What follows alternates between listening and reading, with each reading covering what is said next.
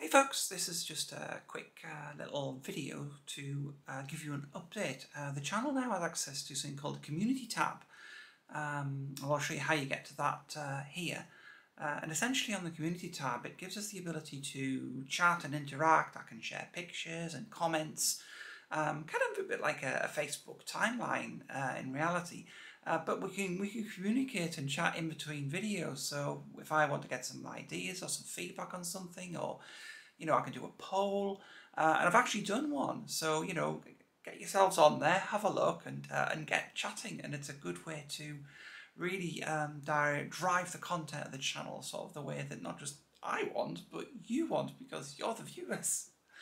Um, anyway, there's definitely some upcoming content coming soon. I'll give you some more info on that on the community channel.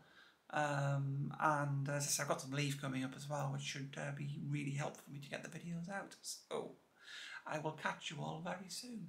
Bye.